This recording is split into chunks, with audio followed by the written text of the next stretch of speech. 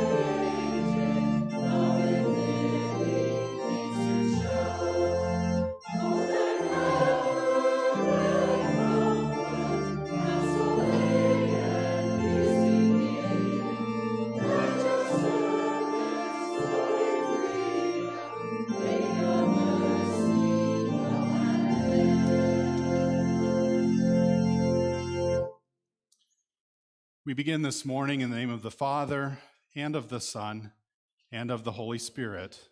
Amen. Our help is in the name of the Lord. If you, O Lord, kept a record of sins, O Lord, who could stand? But with you there is forgiveness, therefore you are feared. Since we are gathered to hear God's word and call upon Him in prayer and praise, let us first consider our unworthiness and confess before God and one another that we have sinned in thought, word, and deed, and that we cannot free ourselves from our sinful condition. Together as His people, let us take refuge in the infinite mercy of God, our Heavenly Father, seeking His grace for the sake of Christ and saying, God, be merciful to me, a sinner. Almighty God, have mercy upon us, forgive us our sins, and lead us to everlasting life. Amen.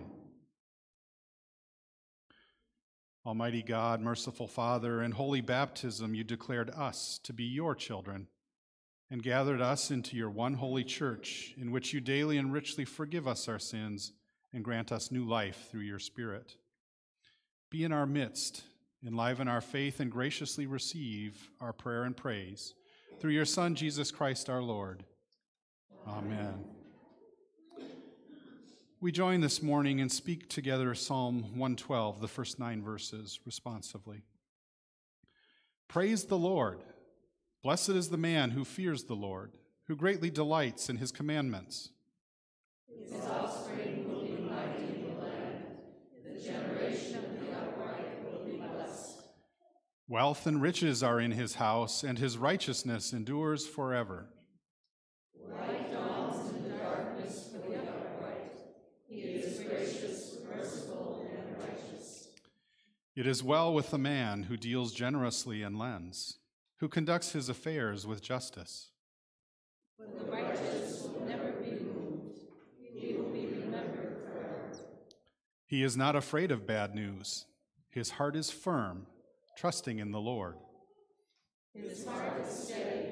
He will not be afraid until he looks in triumph on his adversaries. He has distributed freely. He has given to the poor. His righteousness endures forever. His horn is exalted in honor.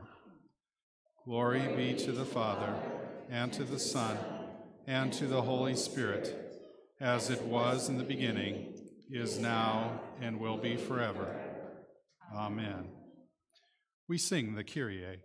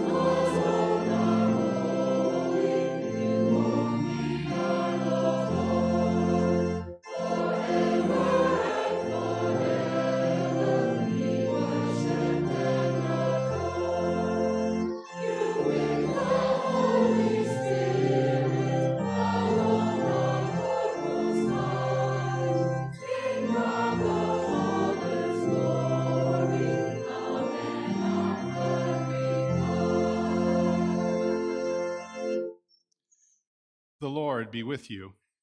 And also with you. Let us pray. O Lord, keep your family, the church, continually in the true faith, that relying on the hope of your heavenly grace, we may ever be defended by your mighty power.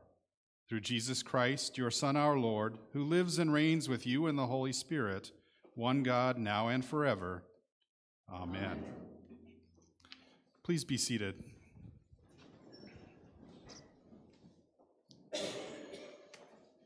Our scripture readings for this morning start with the Old Testament reading from Isaiah chapter 58. Why have we fasted and you see it not? Why have we humbled ourselves and you take no knowledge of it? Behold, in the day of your fast, you seek your own pleasure and oppress all your workers. Behold, you fast only to quarrel and to fight and to hit with a wicked fist. Fasting like yours this day will not make your voice to be heard on high. Is such the fast that I choose, a day for a person to humble himself? Is it to bow down his head like a reed and to spread sackcloth and ashes under him? Will you call this a fast and a day acceptable to the Lord? Is not this the fast that I choose? To loose the bonds of wickedness, to undo the straps of the yoke, to let the oppressed go free, and to break every yoke? Is it not to share your bread with the hungry and bring the homeless poor into your house? When you see the naked, to cover him and not to hide yourself from your own flesh? Then shall your light break forth like the dawn, and your healing shall spring up speedily. Your righteousness shall go before you. The glory of the Lord shall be your rear guard. Then you shall call, and the Lord will answer. You shall cry, and he will say, Here I am. This is the word of the Lord.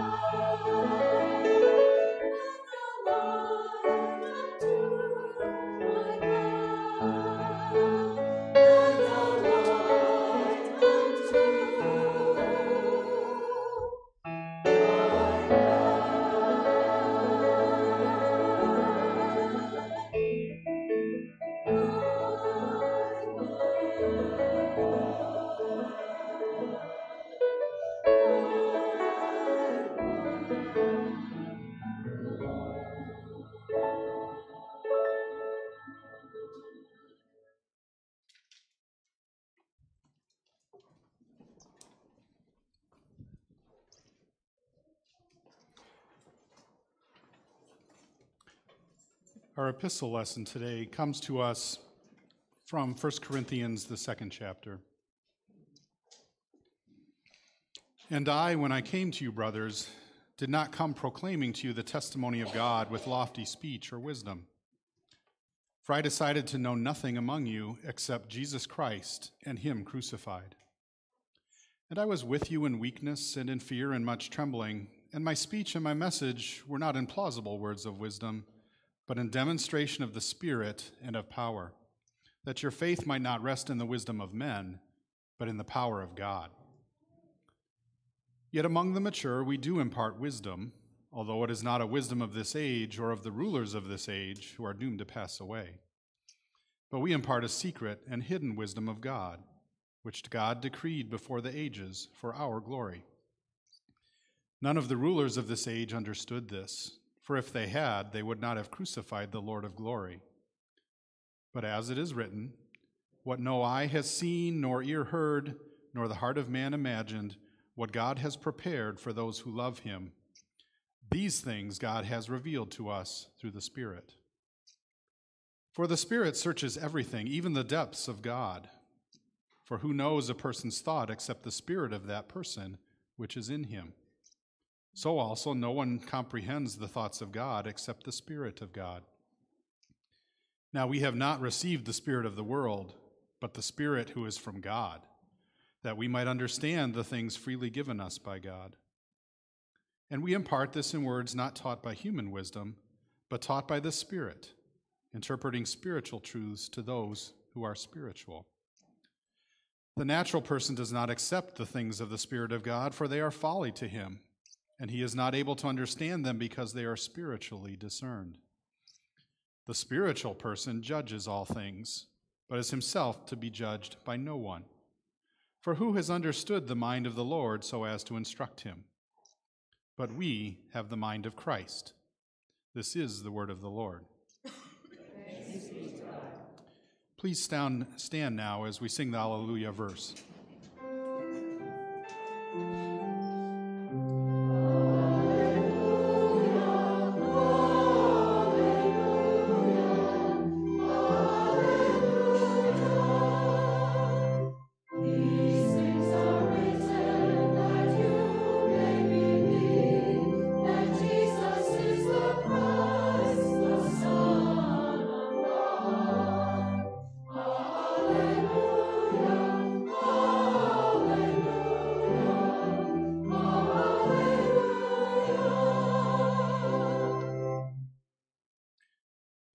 Gospel according to St. Matthew, the fifth chapter. Glory to you, O Lord. Jesus said, You are the salt of the earth. But if salt has lost its taste, how shall its saltiness be restored? It is no longer good for anything except to be thrown out and trampled under people's feet. You are the light of the world. A city set on a hill cannot be hidden, nor do people light a lamp and put it under a basket, but on a stand and it gives light to all in the house. In the same way, let your light shine before others, so that they may see your good works and give glory to your Father who is in heaven. Do not think that I have come to abolish the law or the prophets. I have not come to abolish them, but to fulfill them. For truly I say to you, until heaven and earth pass away, not an iota, not a dot will pass from the law until all is accomplished. Therefore, whoever relaxes one of the least of these commandments and teaches others to do the same will be called least in the kingdom of heaven. But whoever does them and teaches them will be called great in the kingdom of heaven. For I tell you, unless your righteousness exceeds that of the scribes and Pharisees, you will never enter the kingdom of heaven. This is the gospel of the Lord. Praise, Praise to you, O Christ. We now confess our Christian faith using the words of the Apostles' Creed.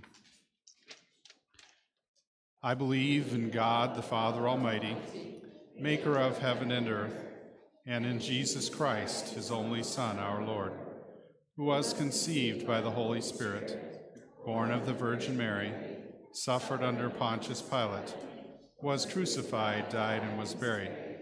He descended into hell. The third day he rose again from the dead.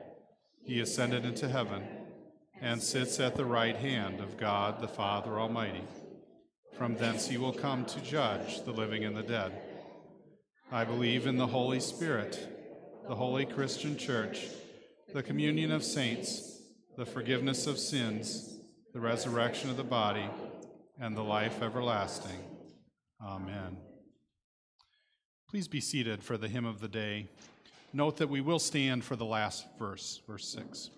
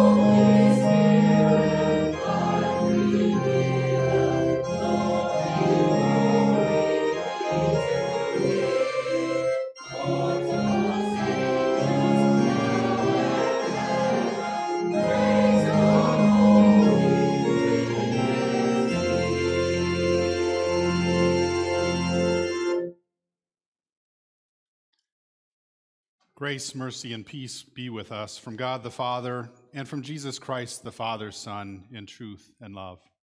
You may be seated.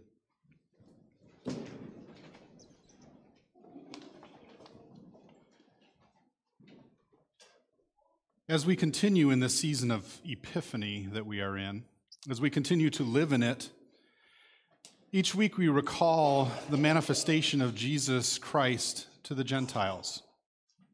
That's us. We also see how God continues to reveal his plan for mankind.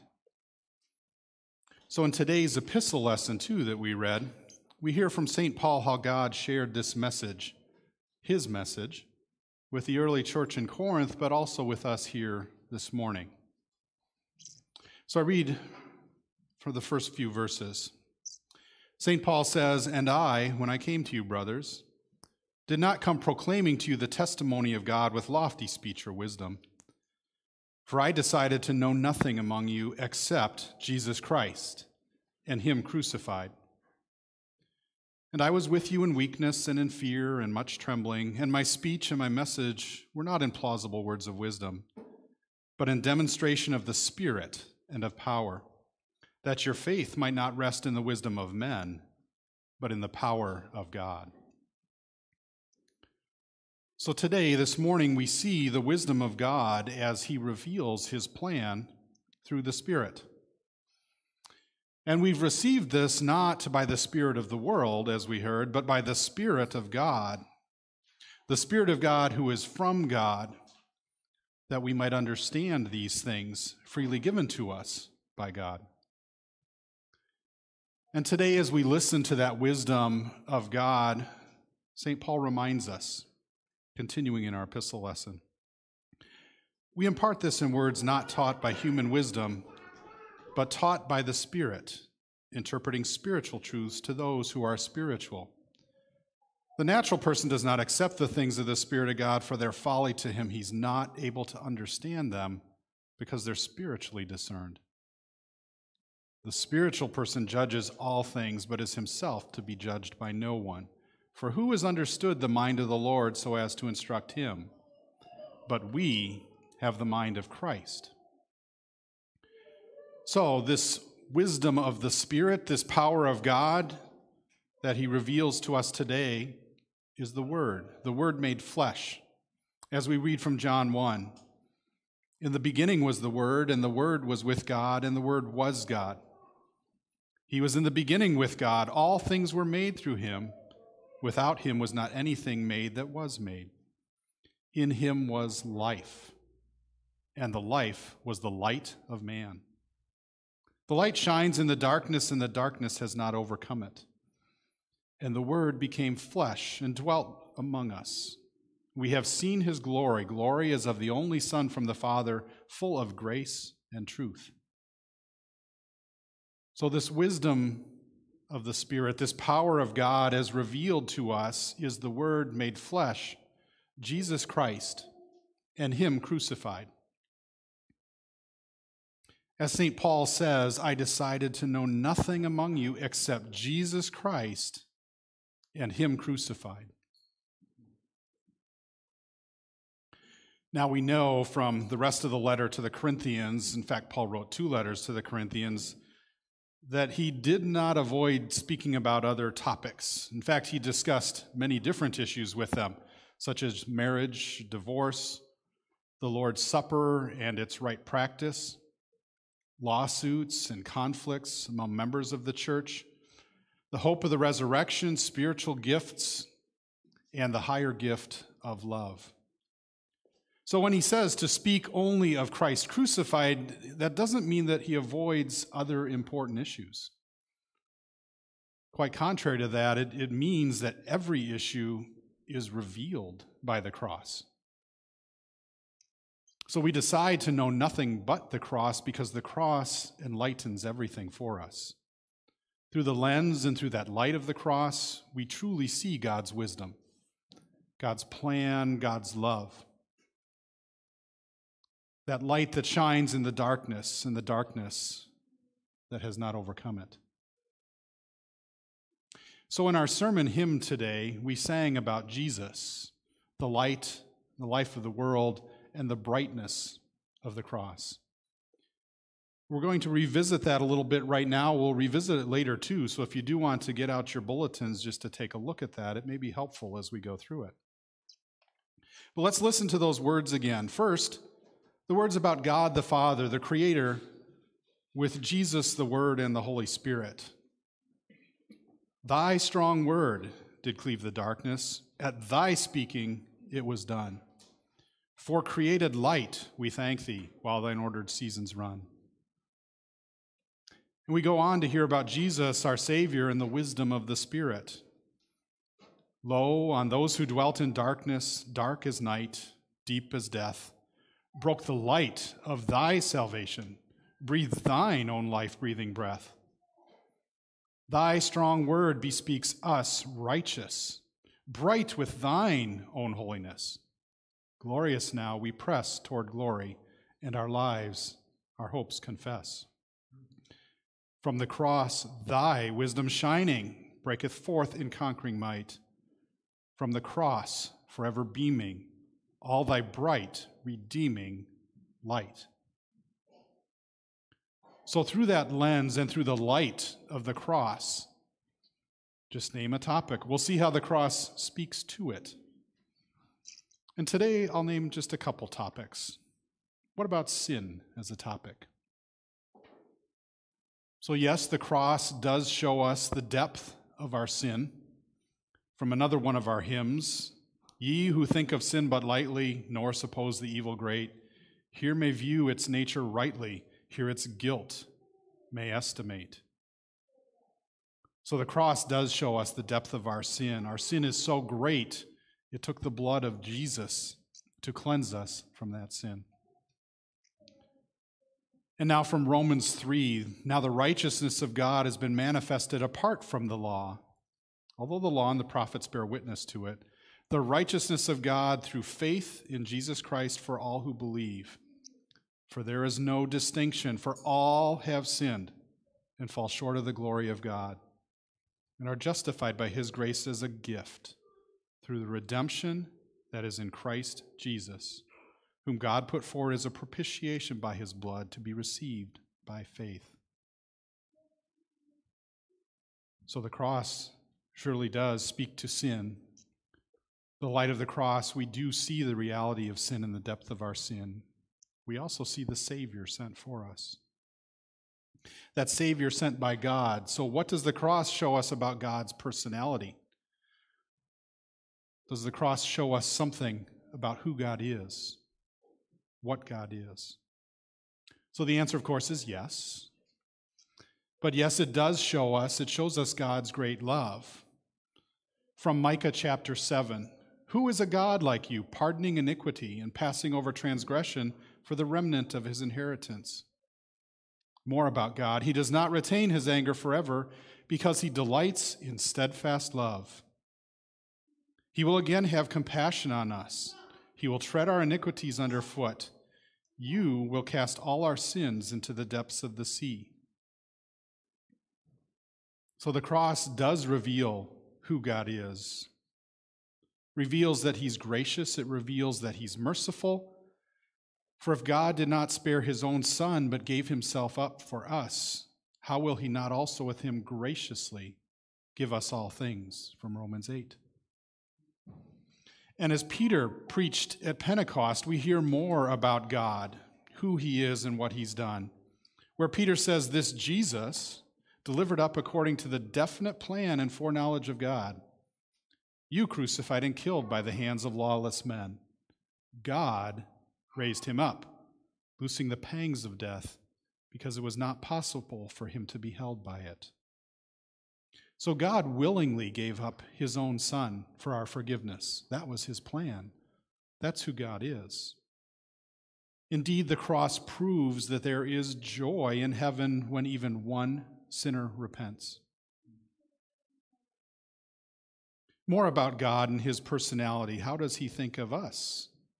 He says, You're a chosen race, a royal priesthood, a holy nation, a people for his own possession, God's own possession, that you may proclaim the excellencies of him who called you out of darkness into his marvelous light. So, as we think about those topics and see how the light of the cross illuminates them, our sin and who God is and what God has done about that, each of those, looking through that light of the cross, leads to yet another. So let's consider this this morning. If we are forgiven in Christ, then we've been reconciled to the Father. And if we've been reconciled to the Father, we have peace with God through our Lord Jesus Christ. And if we have peace with God, we have enmity with the devil, and the devil no longer has any claim on us. We belong to God. Let's consider this farther. If we belong to God, we are his heirs. All things are ours. For how will he not also graciously give us all things, he says? And if we have all things, we must have the resurrection of the body. For if he loved us enough to take on our flesh, to die in that flesh, to rise in that flesh, then certainly he will also save our flesh again when he comes in glory. And why? Because we belong to God. And Christ will raise us up on that last day to live with him forever in eternity. So, as we consider that, the wisdom of God, the wisdom of the Spirit is that cross. That cross is the key to all wisdom. And by God's grace and through His Spirit, once you have that, the gospel, the good news about Jesus, reveals one truth on top of another, on top of another. So the cross teaches us the gospel, that good news about Jesus and what he's done for us. But it also teaches us about the law. It teaches us how we are to live, and it changes our opinions about the law. So think about this for a moment, too. For those who don't understand the cross, they view the law as an enemy. It condemns them. The law is bad. For them, the law is this constant reminder that they can't get away from, that they don't measure up. They don't like it at all. In fact, they may hate it. All they hear is that all have sinned and fall short of the glory of God, and they don't want to accept that, that they can't live up to what they perceive as unreasonable standards. And even among Christians, we do see this too. Our sinful flesh doesn't let us off the hook either. We hear about the law and we may squirm a little bit, or sometimes it's even worse than that. It's kicking and screaming and picks a fight when we hear about the law and its convictions. But this new man standing in the light of the cross, the one redeemed by Jesus, thinks much more differently than that. He delights in the law of the Lord. And on that law, he meditates day and night because he sees that the law is cross shaped. It's about denying ourselves, like Jesus did. It's about taking up our own cross, like Jesus did for us. And it's about following him, following Jesus. That cross is all about love, and we love only because God first loved us. The law then becomes beautiful because for us it's a picture of Jesus, the fulfillment of that law. So, this new man, through the wisdom of God, the light of the cross, applies this change of perspective, at times even to individual commandments. Let's just take one of them as an example. The eighth commandment. This is one the world has a real hard time with. It says, You shall not give false testimony against your neighbor. So, like I said, the world has a tough time of this, but given the light of the cross, God's love in that, what does this really mean? It means we should fear and love God so that we do not tell lies about our neighbor, betray him, slander him, or hurt his reputation, but in the love of God, defend him, speak well of him, and explain everything in the kindest way. The world sees these commandments and thinks they're burdensome, but we see the great freedom, the great delight that they hold in the love of God. Indeed, each and every one of these commandments becomes an opportunity for us to reflect the love of Christ to others. As Jesus himself said in the gospel lesson, he says, Let your light shine before others so that they may see your good works and give glory to your Father who is in heaven. So we delight in every commandment because in it we see the fulfillment of that love of Christ and Him crucified. So then, the new man, this new man in the wisdom of God, the light of a cross, how is he to live? How is she to live? First, in thankfulness and prayer to God, and then living in the Word and the light of God. Let's look at some examples of this. First, in thankfulness to God, Luther's morning prayer I thank you, my heavenly Father, through Jesus Christ, your dear Son, that you have kept me this night from all harm and danger. And I pray that you would keep me this day also from sin and every evil, that all my doings in life may please you. For into your hands I commend myself, my body, my soul, and all things. Let your holy angel be with me, that the evil foe may have no power over me. So, how is this new man to live? Once again, God tells us in James 3 Who is wise and understanding among you? By his good conduct, let him show his works in the meekness of wisdom. But the wisdom from above is first pure, then peaceable, gentle, open to reason, full of mercy and good fruits, impartial and sincere and a harvest of righteousness is sown in peace by those who make peace. So, again, how are we to live? Back to our theme verses for this year Ephesians 5, verses 1 and 2. How are we to live? Therefore, be imitators of God as beloved children, and walk in love as Christ loved us and gave himself up for us, a fragrant offering and sacrifice to God. Once again, how are we to live? From 1 Peter 2 But you are a chosen race, a royal priesthood, a holy nation, a people for his own possession, that you may proclaim the excellencies of him who called you out of darkness into his marvelous light. So, how are we to live? From our sermon hymn, verses 5 and 6, if you want to follow along. Give us lips to sing thy glory tongues thy mercy to proclaim, throats that shout the hope that fills us, mouths to speak thy holy name.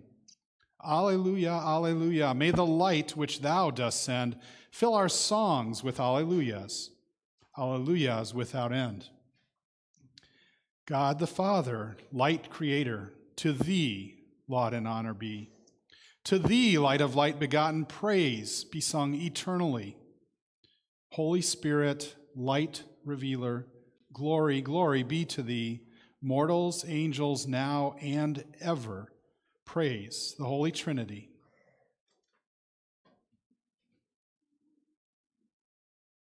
So as we live, we don't ever need to move beyond the cross or know anything but the cross, as if the cross is just one of many topics. We don't need to live beyond the cross as if it's just one of many things either, but rather allow the cross to speak to all topics. Let it illuminate all things in our lives. Let it illuminate your sin. When it reveals the depth of your sin, don't run away, but let that light expose you that you might confess your sins and be forgiven by God. Let the cross illuminate God's personality, who he is, and what he's done for us. As you look at that, do you see his face in the light of the cross? If you do, he's smiling, for you're his child, and he delights in you. Let the law, let the cross illuminate the law, for Christ is the fulfillment of the law. And finally, let the light of the cross shine through you and shine before others, so that they may see your good works and give glory to your Father who is in heaven. So, indeed, today, as we've heard, all of these things and many more are revealed by the wisdom of God through the light of the cross. So, it's with good reason that Paul says in our epistle lesson, I decided to know nothing among you except Jesus Christ and Him crucified. So, in that wisdom of God, by the light of the cross, may we say that along with St. Paul. May we say that too. That we know nothing among you except Jesus Christ and Him crucified. To God be all glory. Amen. Now, to Him who is able to keep you from stumbling and to present you blameless before the presence of His glory with great joy, to the only God, our Savior, through Jesus Christ our Lord, be glory, majesty, dominion, and authority before all time and now and forever. Amen. And now we bring our prayers before the Lord. Please stand.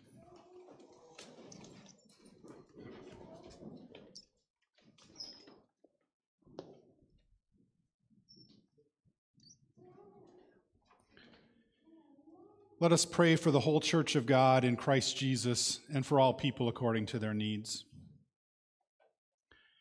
Almighty God, you delight to loose the bonds of wickedness and undo the straps of the heavy yoke, that freed from sin's bondage, we may gladly receive your blessings. Preserve us from the lie that you are a cruel oppressor, and give us thankful hearts to rejoice that you are the giver of all good gifts. Lord, in your mercy, hear our prayer. Merciful God, preserve your church by your life giving word. Open the lips of pastors to declare your just decrees and store them up in the hearts of your people, that we may delight in your promises and abound in good works. Lord, in your mercy, hear our prayer. O Lord, give wisdom and courage to parents as they teach their children your ways. On this Scouting Sunday, bless our scouts as they learn, lead, and serve. Make our homes havens of peace in a quarrelsome, self seeking world. Lord, in your mercy, hear our prayer. Heavenly Father, you declare that a young man may keep his way pure by guarding it according to your word. Protect children and youth against the siren calls of the devil, the world, and their own sin- sinful nature. Grant delight in your testimonies as much as in all riches. Lord, in your mercy, hear our prayer. Almighty God, according to your wisdom, you establish rulers of this age for a time. Remember our president, our governor, and all those you have placed in authority, that they might fulfill their duties with wisdom. Lord, in your mercy, hear our prayer. Holy Father, cause healing to spring up speedily for the sake of your Son.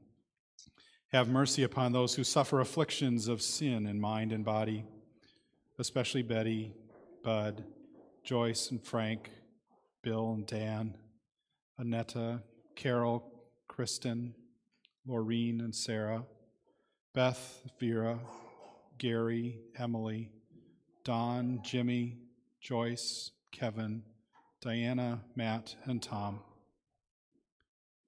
Where you permit trial to remain, preserve your people in faith until the day when your light breaks forth like the dawn. Lord, in your mercy, hear our prayer. Lord God, Heavenly Father, send forth your Holy Spirit, that delivered from the spirit of this world, we may hold fast in faith to what you freely give us. Through Jesus Christ, your Son, our Lord, who lives and reigns with you in the same Holy Spirit, one God, now and forever. Amen. Hear us as we pray in his name and as he has taught us. Our Father, who art in heaven, hallowed be thy name. Thy kingdom come, thy will be done, on earth as it is in heaven. Give us this day our daily bread, and forgive us our trespasses, as we forgive those who trespass against us. And lead us not into temptation, but deliver us from evil. For thine is the kingdom, and the power, and the glory, forever and ever. Amen.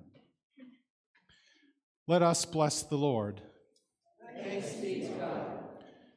The Lord bless us and keep us. The Lord make his face shine on us and be gracious to us. The Lord look upon us with favor and give us peace. Amen. We now sing our closing hymn. May we thy precepts, Lord, fulfill.